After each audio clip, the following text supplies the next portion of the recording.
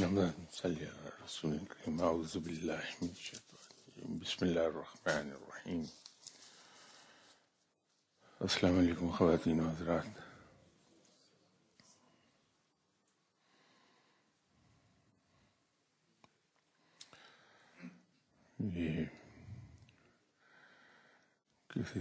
صاحب نے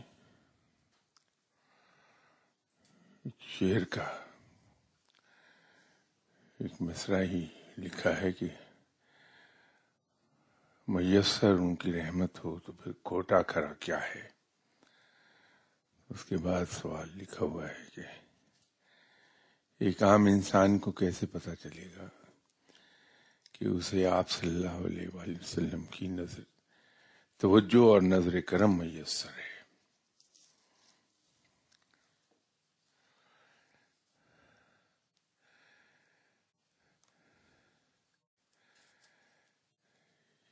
بات یہ ہے کہ اگر ایک انسان کو کسی طرف سے بھی توجہ اور نظر عنایت حاصل ہو رہی ہو، تو انسان میں تبدیلیوں کا آنا لازمی امر ہے۔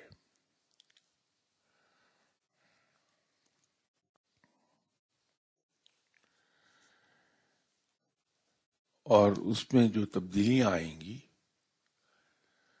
وہ ڈائریکٹلی انفلوئنسڈ ہوتی ہیں۔ اس اسلوب سے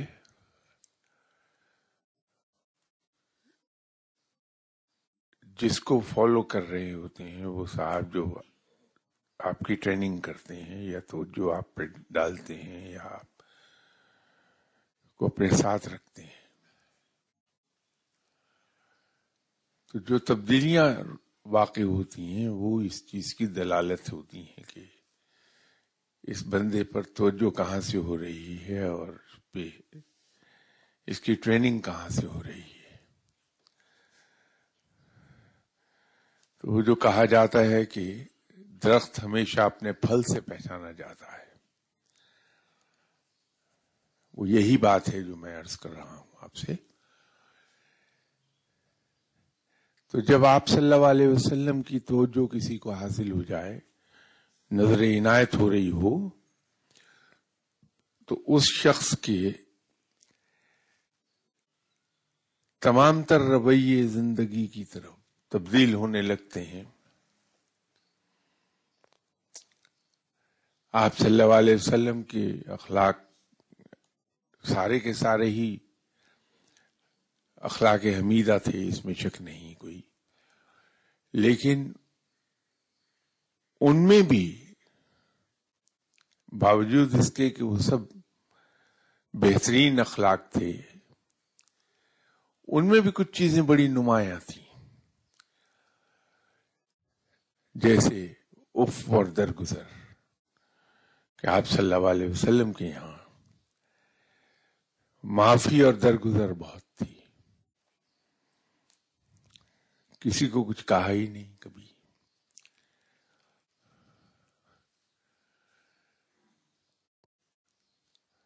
تو جب طائف والوں نے آپ صلی اللہ علیہ وسلم کو بہت تکلیف پہنچائی،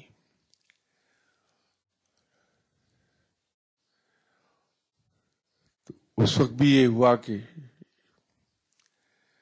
یا باری تعالیٰ ان پہ کوئی عذاب نازل نہ کرنا کیونکہ ہو سکتا ہے کہ ان میں سے، ان کی نسل سے کوئی آدمی راہ راست پر آ جائے۔ تو معافی کا مقام تو معافی کا حال یہ تھا آپ صلی اللہ علیہ وسلم کے ساتھ۔ سخاوت بے پناہ تھی۔ جیسے یہاں کئی بار بات ہوئی کہ فقر میں سخاوت کی تعریف سخی کون ہے؟ تو فقیر کے یہاں تو سخی وہ ہے،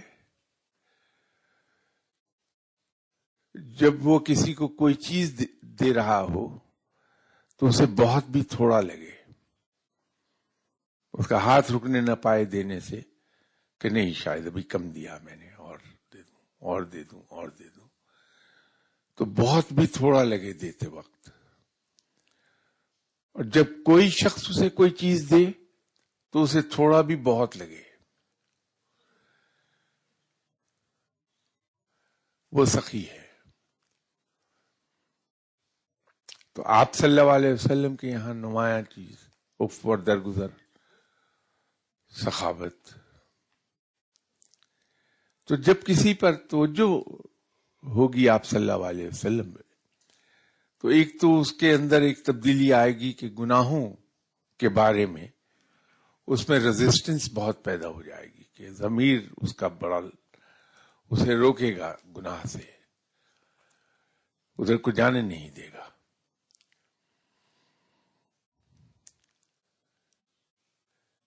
اور اگر کسی انسانی مجبوری کے تحت کوئی گناہ سرزد ہو ہی گیا تو اس کا ضمیر اسے لان تان بہت کرتا ہے۔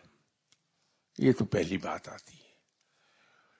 پھر اس کے زندگی میں رویے جو ہیں، اس میں بہت تبدیلی آ جاتی ہے۔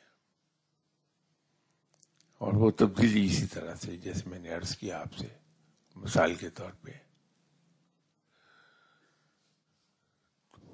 خوش نصیب ہے وہ شخص جس کو آپ صلی اللہ علیہ وسلم سے تو جو حاصل بھی جائے۔ تو اس کی تو دین اور دنیا دونوں ہی سبر گئی پھر۔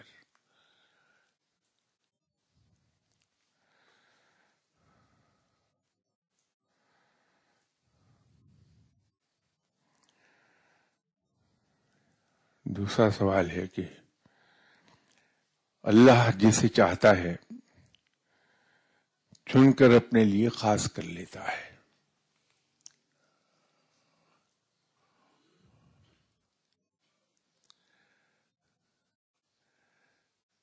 رب تعالیٰ کا تو معاملہ ایسا ہے کہ وہ مالک کل ہے۔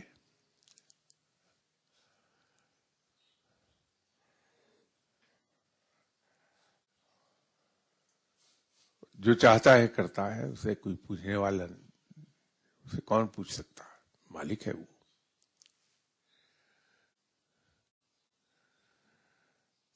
تو ایسے بہت سے واقعات آپ کو مل جائیں گے۔ کہ بڑے بڑے مشہور اپنے زمانے کے چور اور ڈاکو۔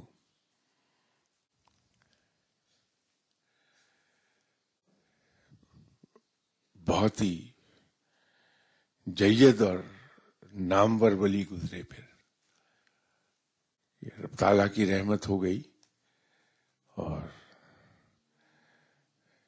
کوئی بات ایسی دل پر اثر کر گئی کہ ان کا قلب پلٹ گیا۔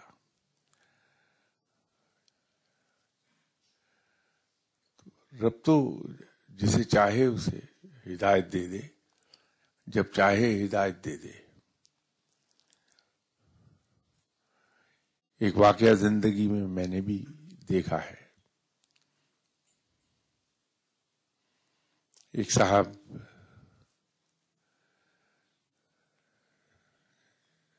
راہزن تھے وہ، اور غالباً اسی سلسلے میں راہزنی کے سلسلے میں ان کے ہاتھ سے کچھ لوگ جان سے بھی گئے ہوں گے۔ وہ بڑے شاہ صاحب کے پاس آ گئے، کیونکہ یہ ایسے لوگ بزرگوں کی عزت بہت کرتے ہیں۔ بڑے شاہ صاحب نے ان کو منع کیا کہ جو کچھ کرتے ہو یہ نہ کیا کرو۔ لیکن میرا خیال ہے اثر نہیں ہوا شاید ان پہ۔ تو پھر غائب ہو گئے آ کے۔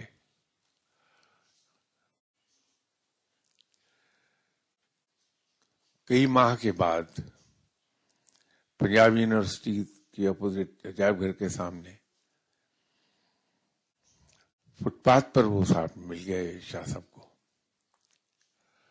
تو شاہ صاحب نے ان کو کان کی نچلی حصے سے لو سے، کان کی لو سے انہیں پکڑا اور پکڑ کے جہاں بیٹھتے تھے وہاں لے آئے۔ اس کے بعد انہوں نے ہر چیز چھوڑ دی۔ تو رب تعالیٰ جسے چاہے یوں ہدایت دے دے۔ یہ تو ایک چیز ہے کہ رب جسے چاہے ہدایت دے دے۔ لیکن انسان کو ہدایت کے لیے خود بھی جستجو اور جد جہد کرتے رہنا چاہیے۔ میں قصہ دیکھ رہا، سن رہا تھا کہ آپ صلی اللہ علیہ وسلم نے جناب حضرت ابو حریرا رضی اللہ تعالی عنہ ان سے فرمایا، ملنے گئے ہوئے تھے۔ تو فرمایا کہ آج جا کے اعلان کر دو کہ جو شخص بھی زندگی میں ایک بار کلمہ شہادت پڑھ لے گا،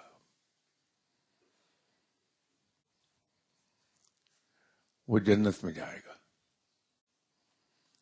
تو حکم تھا آپ صلی اللہ علیہ وسلم کا تو جناب حضرت ابو حرارا مدینے کی گلیوں میں بڑی بلند آواز میں اعلان کرتے ہوئے جا رہے تھے کہ جو کوئی جو مسلمان ایک بار کلمہ شہادت پڑھ لے گا، وہ جنت میں جائے گا۔ تو سامنے سے جناب حضرت عمر رضی اللہ تعالی عنہ تشریف لے آئے اور انہوں نے کہا کہ کیا کر رہے ہو؟ لوگوں کو بے عملی کی طرف بلا رہے ہو۔ کہ لوگ تو پھر نیک اعمال کرنے کی بجائے صرف کلمہ شہادت ایک بار پڑھ لیں گے اور یہ کہیں گے کہ اب ہم جنت میں چلے جائیں گے۔ تو تھوڑی سختی شروع کر دی ان پہ۔ تو انہوں نے کہا کہ میں تو آپ صلی اللہ علیہ وسلم کے حکم کی تعمیل کر رہا ہوں۔ تو فرمایا آپ صلی اللہ علیہ وسلم یہ نہیں فرما سکتے۔ کہا کہ چلیے پوچھ لیتے ہیں۔ تو چلے گئے آپ صلی اللہ علیہ وسلم کی خدمت میں۔ تو جا کے جناب حضرت حضرت عمر رضی اللہ تعالیٰ عنہ نے عرض کی کہ یا رسول اللہ صلی اللہ علیہ وسلم ابو حریرا یہ حرکت کر رہے تھے مدینے کی گلی میں اور یہ کہہ رہے ہیں کہ آپ کے حکم پر کر رہے تھے۔ فرمایا کہ ہاں اسے میں نے ہی کہا تھا۔ تو جناب حضرت عمر رضی اللہ تعالیٰ عنہ نے عرض کی کہ یا رسول اللہ صلی اللہ علیہ وسلم، اس طرح تو مسلمان عمل کی راہ چھوڑ کر صرف ادھر کو چلے جائیں گے تو یہ نقصان ہوگا۔ تو آپ نے فرمایا کہ ہاں تم سچ کہتے ہو۔ تو جناب حضرت ابو حریر کو روک دیا۔ تو بات یہ ہے کہ مسلمان کی زندگی میں تو جد و جہد اور عمل بہت بنیادی حیثیت رکھتا ہے اور رب تعالی بھی ان لوگوں کو پسند کرتا ہے جو ہر وقت مجاہدوں کی طرح عمل کے لیے کمر کس کے رکھتے ہیں۔ عمل پر زور دیتے ہیں، اللہ ان کو پسند کرتا ہے۔ بے عملی رب کو پسند نہیں، سست لوگوں کو رب تعالیٰ پسند نہیں کرتا ہے۔ ہدایت تو یقیناً رب دیتا ہے، اس میں کوئی شک نہیں ہے۔ لیکن ہمیں اپنے طور پہ کوشش کرتے رہنا چاہیے کہ ہم ہدایت کی راہ پالیں۔ اور ہدایت کی راہ میرے نزدیک میں قرآن اور سنت اور صحابہ کرام کی پیروی ہے۔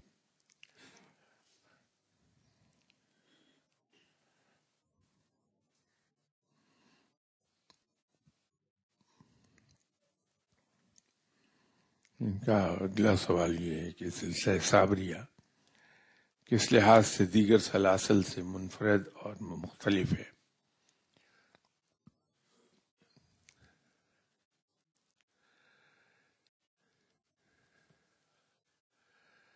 بات یہ ہے کہ سلسلہ کوئی بھی ہو، چاہے افریقہ کا سلسلہ شادلیہ ہو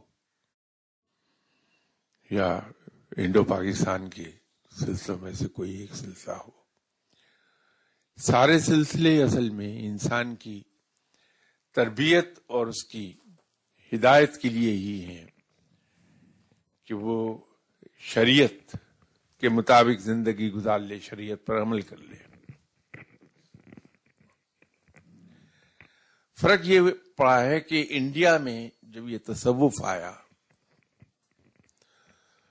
تو یہاں چونکہ ہندو کلچر کا غلبہ ہے، بدنصیبی یہ ہے کہ آج بھی ہے۔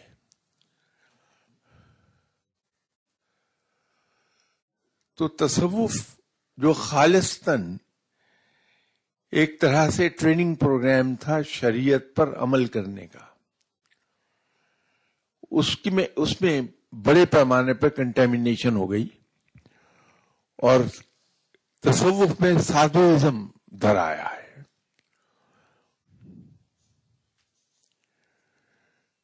جیسے ابھی میں ارض کر رہا تھا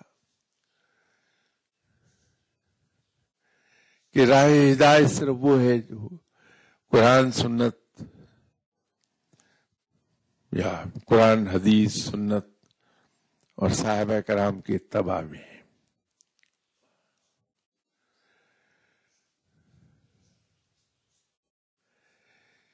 اسی طرح ہر وہ بات جو قرآن اور قرآن، حدیث اور سنت سے اور صحابہ کرام کے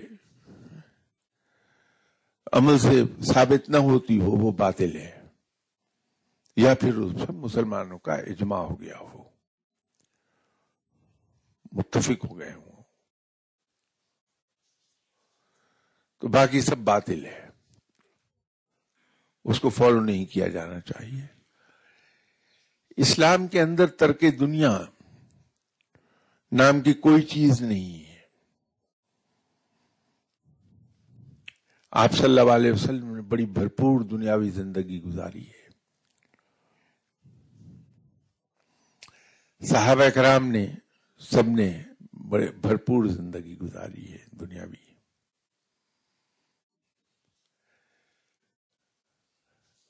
اپنے فرائض سے منہ موڑ کے اپنی ذمہ داریوں کو چھوڑ کر۔ ویرانے کی راہ لے لینا۔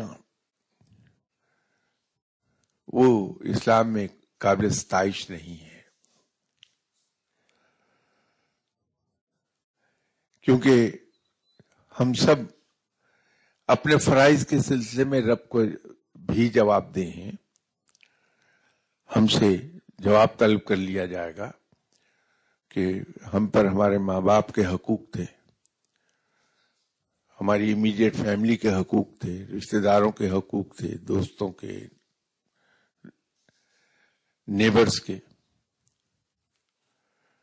تو وہ حقوق ہم نے ادا کیے یا نہیں کیے؟ اگر نہیں کیے تو کیوں نہیں کیے؟ اس کا جواب دینا ہوگا ہمیں۔ نوافل کے لیے فرض کو قربان نہیں کیا جا سکتا۔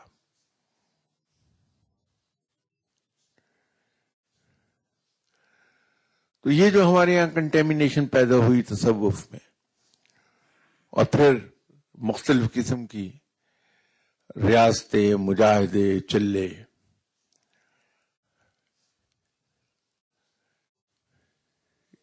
یہ اس میں کنٹیمنیشن ہوئی ہے۔ میں نے پہلے بھی یہاں عرض کیا تھا کہ میرے ساتھ ایک صاحب بڑے شاہ صاحب کی خدمت میں حاضر ہوئے تھے۔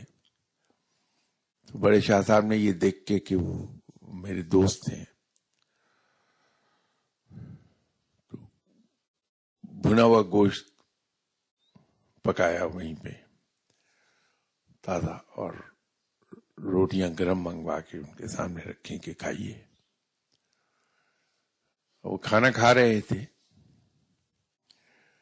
تو انہوں نے ایک سوال پوچھا جس کو میں یہ سمجھا پہلے تو کہ یہ شاید اپنے علم میں اضافے کے لیے پوچھ رہے ہیں۔ انہوں نے شاہ صاحب سے کہا کہ ہم یہ عام طور پر کتابوں میں پڑھتے ہیں کہ فقیر خود مرچوں سے روٹی کھا لیتے ہیں اور مہمانوں کو بنا گوشت کھلاتے ہیں۔ یہ سوال بظاہر بڑا انوسینٹ کوشچن تھا۔ میں تو اس سے میرا تاثر یہی تھا کہ انہوں نے اپنے علم میں اضافے کے لیے سوال پوچھا۔ لیکن اس کا جو جواب شاہ صاحب نے دیا تو ایک دم سے میں چونکا کہ وہ انہوں نے فرمایا کہ بالکل یقیناً ایسا ہوگا جو آپ کہہ رہے ہیں۔ لیکن اگر میرا رب مجھے نعمتیں عطا فرماتا ہے تو میں ان سے منہ موڑ کر کفران نعمت کیوں کروں؟ نہ شکرہ کیوں کہلاؤں؟ تو رب مجھے بھنا گوشت کھلاتا ہے تو میں تو مرچوں سے روٹی کھانے کو تیار نہیں ہوں۔ کہ نہ شکر گزاری ہو جائے گی۔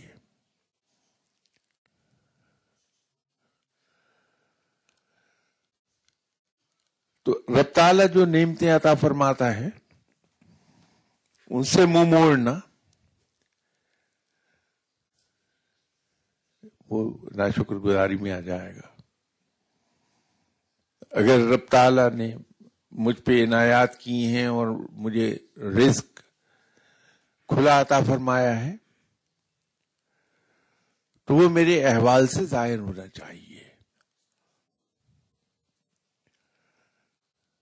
تو تصوف میں یہ اس قسم کی جتنی بھی چیزیں ہیں، وہ سب سادھوزم صحیح لی گئی ہیں، وہ کنٹیمنیشن ہے تصوف کی اصلی شکل یہ نہیں ہے۔ تصوف کی جو اصلی شکل ہے، وہ تو یہ ہے کہ انسان اپنے نفس سے لڑنا سیکھتا ہے۔ انسان اپنے نفس کی خواہشات کو رد کر کے اللہ کے طے شدہ پیمانے کے مطابق زندگی گزارتا ہے۔ یارڈ سٹک جو اللہ نے دی ہے ہمیں، وہ اس کے مطابق زندگی گزارتا ہے۔ یہ ٹریننگ ہے، اس ٹریننگ کا نام تصوف کے لیجیے آپ۔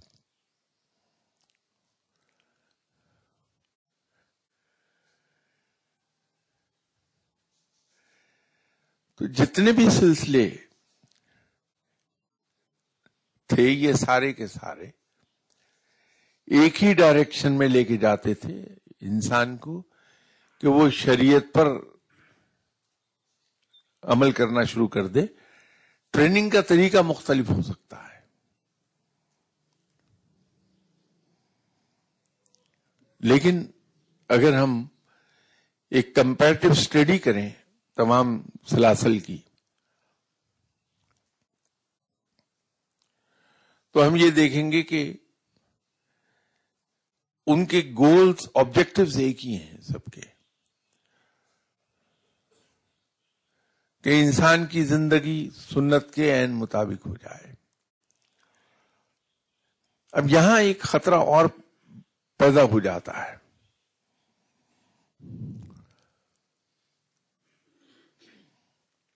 کہ جب ہم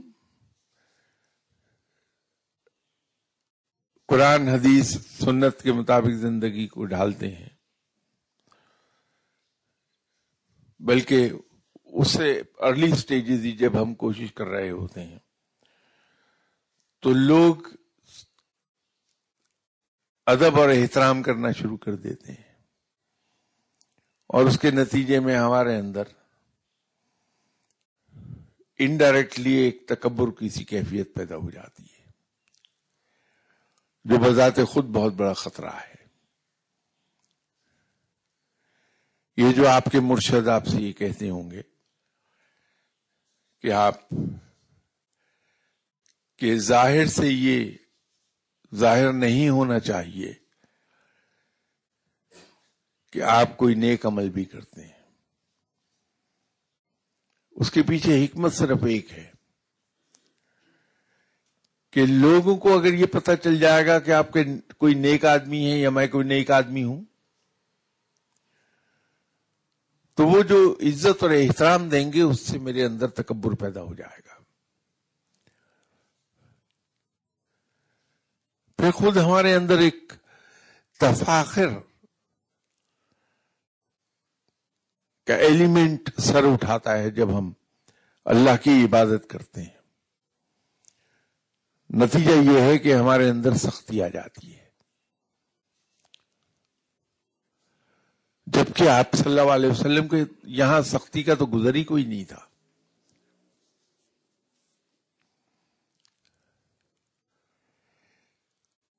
تو مرشد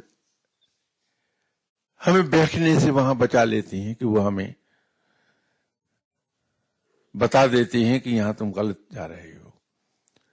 یہ اور بات ہے کہ وہ مرشد ہیں، استاد ہیں۔ ان کے لبو لہجے میں سختی بھی آ جائے گی۔ بعض اوقات اگر دیکھیں گے کہ وہ مجھ جیسا کوئی موٹی کھال کا آدمی ہے، اس پہ بات کا، نرم بات کا اثر نہیں ہوتا۔ تو وہ جیسے ہاتھی کو آپ لاکھ ایڑ لگاتے رہیے گھوڑے کے ایسے انداز میں، تو گھوڑے کو تو ایڑ لگائیں گے اور وہ ہوا ہو جائے گا، لیکن ہاتھی پہ اس کا اثر نہیں ہوتا۔ تو ہاتھی کے مہاوت نے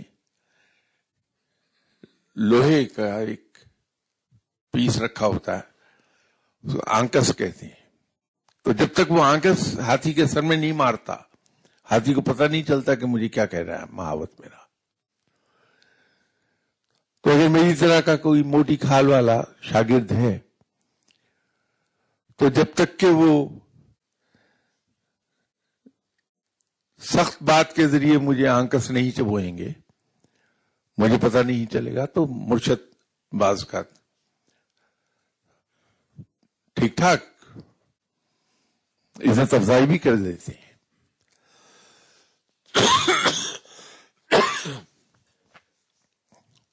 تو میں تو اس عمل میں سے خاصا کثرت سے گزرتا تھا کہ لوگوں کی موجودگی میں جو عزت افزائی ہوتی تھی وہ خاصی اونچے درجے کی تھی۔ لیکن اگر ایک بڑی چیز پر نظر جمائی ہوئی ہے انسان نے، تو یہ سب دیکھ لینا چاہیے۔ مرشد روکتے ہیں پھر ہاتھ پکڑ کے، غلط طرف جانے سے روک لیتے ہیں۔ سزا صابریہ میں جو آپ نے منفرد چیز مجھ سے پوچھی۔ تو سزا صابریہ میں ایک چیز ضرور دکھائی دیتی ہے کہ عام طور پر جوان لوگ ہوتے ہیں۔ میں نوجوان نہیں کہہ رہا، ویسے تو نوجوان بھی ملیں گے۔ لیکن جنرلی جوان آدمی ہوتے ہیں اس میں، جو اس راہ پر جاتے ہیں اور کافی مقام پاتے ہیں۔ دوسرا، ان لوگوں میں تیزی بڑی ہوتی ہے۔ سلسلہ صابریہ کے تربیت یافتہ کوئی بھی آدمی دیکھیں گے، تو آپ دیکھیے کہ وہ تیز چلیں گے ہمیشہ۔ کام کرنے کی رفتار بہت تیز ہوتی ہے ان کی۔ مینٹلی بڑے شارپ ہوتے ہیں کہ چیز کو پک کر لیتے ہیں بڑی جلدی۔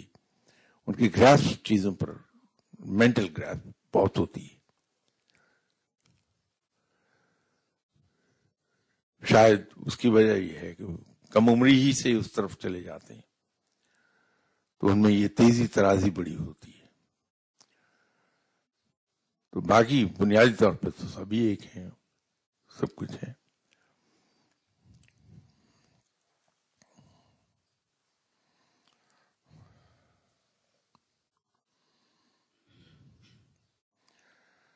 یہ میری ذات کے بارے میں سوال آ گیا کہ سید یعقوب علی شاہ صاحب، سلسلہ چشتیہ صاحب یا وارسیہ سے منسلک تھے۔ انہوں نے ابتدائی طور پر آپ کو کس سلسلے میں بیعت کیا تھا؟ کیا چشتیہ میں یا صابریہ میں؟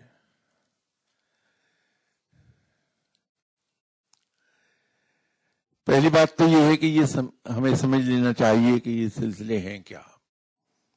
کچھ بھی نہیں ہے، سلسلہ ایک ہی ہے، جیسے میں نے ابھی عرض کیا۔ شاگردوں نے ازراہ عقیدت اپنے نام کے ساتھ نام جوڑ دیا۔ ابھی بہت سے لوگ یہاں میرے علم میں آئے، وہ اپنے نام کے ساتھ سرفراز لکھ دیتے ہیں۔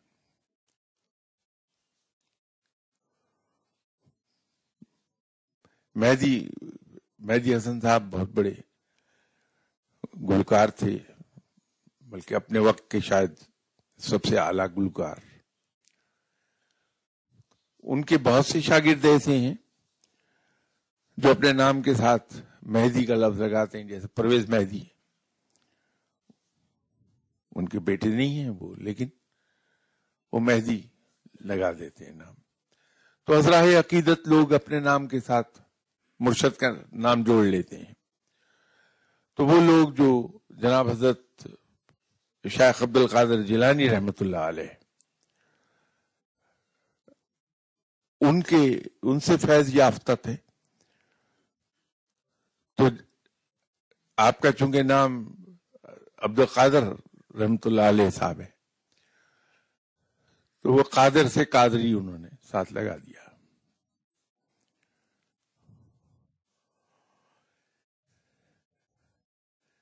سلسلہ چشتیہ انڈیا کے اندر، جو سلسلہ چشتیہ کے سرخیل ہیں، جو سب سے اعلیٰ ترین مرشد ہیں سلسلہ چشتیہ میں، وہ جناب خواجہ غریب نواز صاحب ہیں۔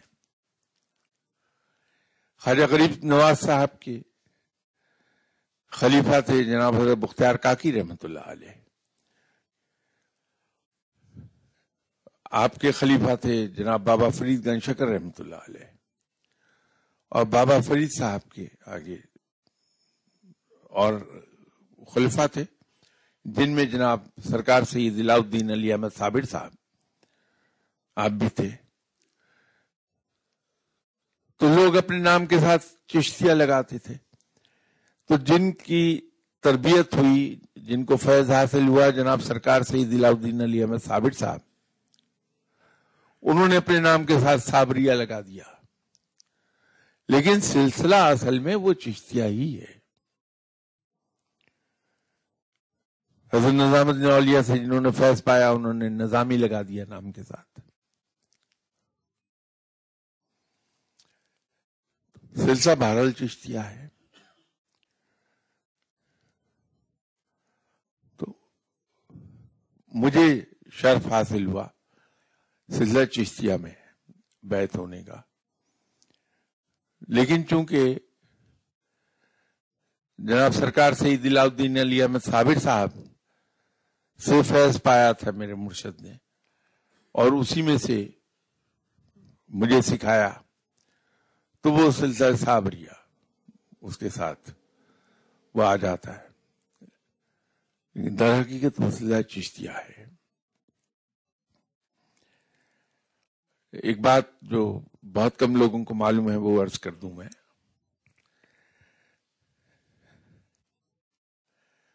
کہا یہ جاتا ہے کہ جناب خواجہ غریب نواز صاحب رحمت اللہ علیہ، ان کے ایک ہی خلیفہ تھے جناب حضرت بختیار کاکی رحمت اللہ علیہ۔ یس، ان کی زندگی میں ایک ہی خلیفہ تھے۔ لیکن کئی صدیوں کے بعد پھر خلافت ہوئی، خواجہ صاحب کے ہاتھوں خلافت نصیب ہو گئی۔ جناب حضرت پیر مہر علی شاہ صاحب کو۔ تو جناب حضرت بختیار کاکی رحمت اللہ علیہ خلیفہ اول نے خواجہ غریب نواز صاحب کے، اور پیر مہر علی شاہ صاحب خلیفہ دوئی میں یہ بہت کم لوگوں کو یہ بات معلوم ہے۔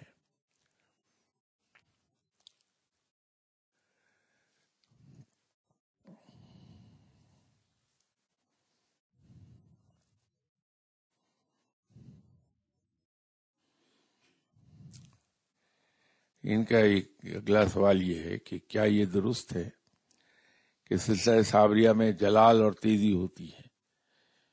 یقینی طور پہ ایسا ہی ہے۔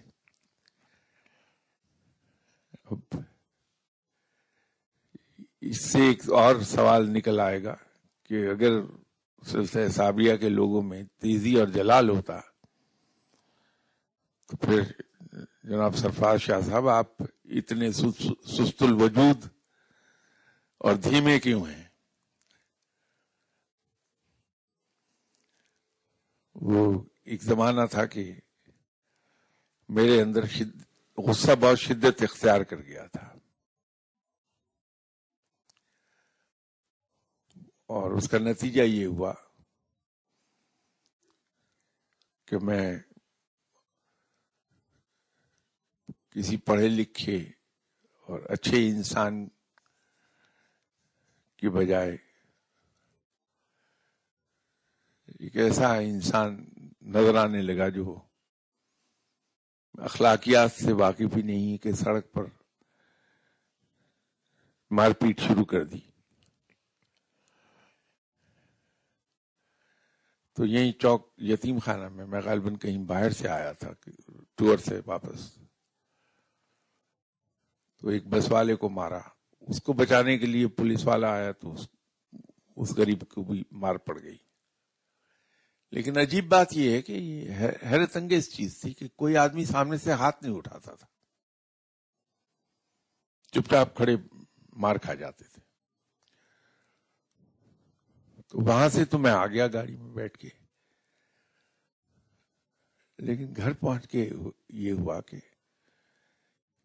یہ تم نے آج دنیا کا بدترین جرم کیا کہ ایک آدمی جو یونیفارم میں تھا اس کو مارا ہے۔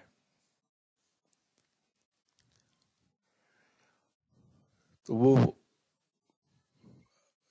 پچھتاوا اس قدر شدید تھا کہ میں پھر گھر سے واپس ادھر آ گیا چوک یتیم خانہ پر، اور تلاش کرتا رہا۔ تو نہ وہ بس والا ملا، نہ وہ پولیس والا ملا مجھے۔ کہ میں ان سے معافی بھی مانگنا چاہتا تھا اور انہیں کمپنسیٹ بھی کرنا چاہتا تھا کہ میں نے زیادتی بات کی۔ تو میں نے اس کے بعد پھر مرشد صاحب سے عرض کی کہ حضور، یہ معاملہ خاصا خراب ہو گیا کہ یہ وردی والے پر ہاتھ اٹھانا۔ یہ تو کسی طرح بھی قابل قبول نہیں ہے۔ تو اب اس غصے کو کسی طرح دعا فرمائیے، ختم ہو جائے۔ تو فرمایا کہ وہ آہستہ آہستہ ختم ہو جائے گا۔ تو اس کے بعد وہ وقت بھی آیا کہ ایک دن میرے مرشد صاحب نے مجھ سے کہا، وہ چونکہ اردو سپیکنگ تھے امبالا کے رہنے والے بنیادی طور پر، تو گفتگو ایسی کرتے تھے۔ کہنے میاں، بات سنو۔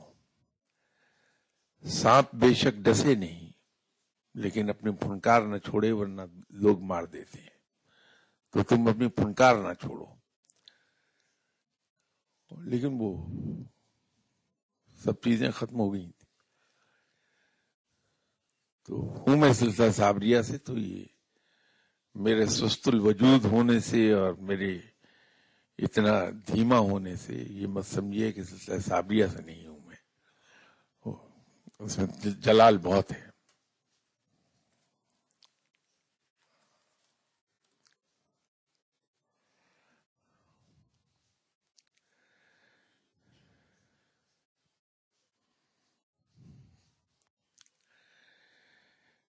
یہ اگلا سوال کچھ ایسا ہے جو کوئی نیک آدمی ہی جواب دے پائے گا۔ پوچھا ہے کہ کبھی ایسی کیفیت کہ یا رب بھی کہا ہو تو ایک دم لگا جیسے اللہ نے مسکرا کر رحمت بھری نظر سے دیکھا ہے۔ تو کبھی کوشش کے باوجود انسان اللہ سے جڑ نہیں پاتا۔ کنیکشن محسوس نہیں ہوتا ایسا کیوں ہے؟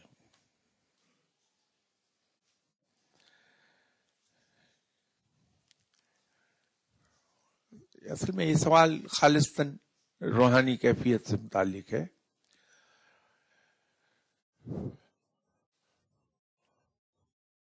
انسان ہے اس کی ذہنی کیفیات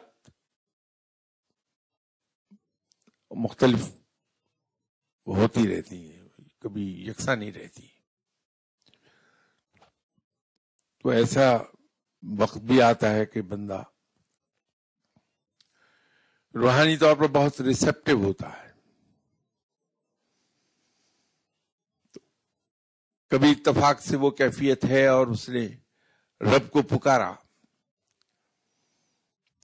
تو اس کو ایک احساس ہوا کہ میرے رب نے جواب دیا ہے۔ احساس ہوا میں عرض کر رہا ہوں۔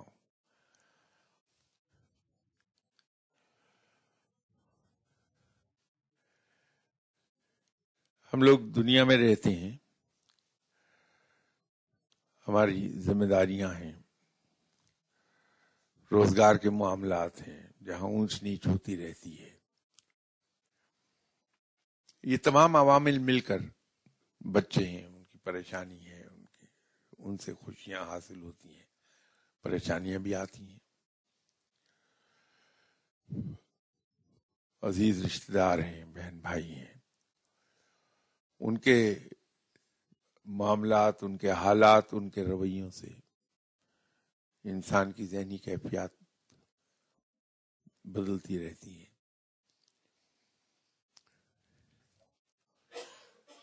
تو ہم پر یہ کیفیت ہمیشہ تاری نہیں رہتی۔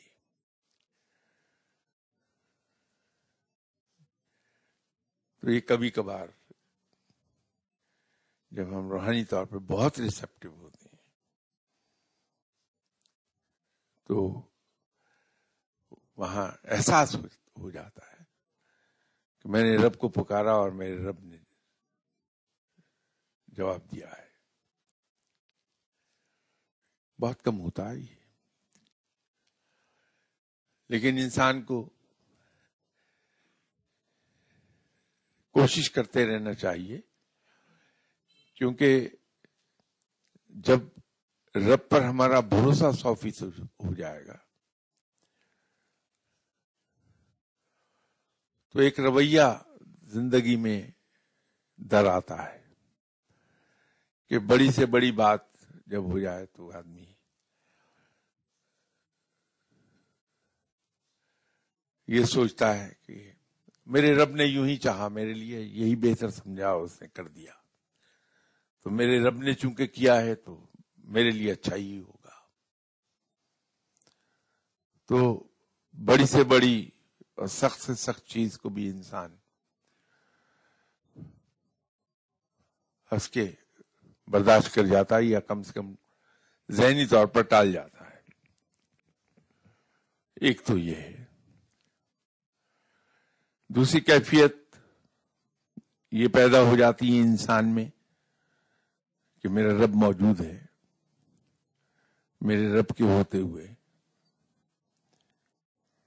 مجھے کچھ نہیں ہو سکتا۔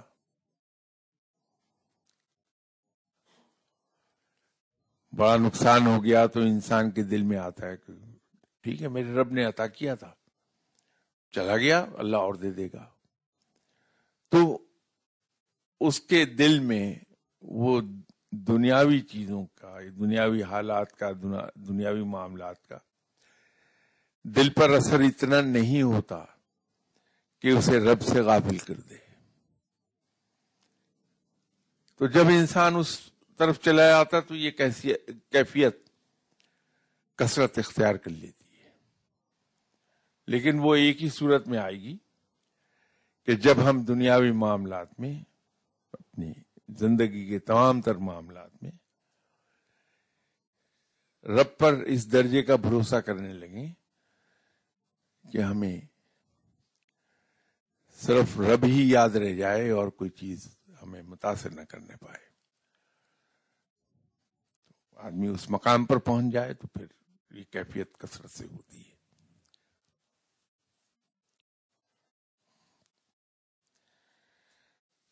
ان شاء اللہ تعالی باقی اس موضوع پہ نیکسٹ ٹائم گفتگو ہوتی ہے۔ اس تک اس وقت تک کے لیے اجازت السلام علیکم۔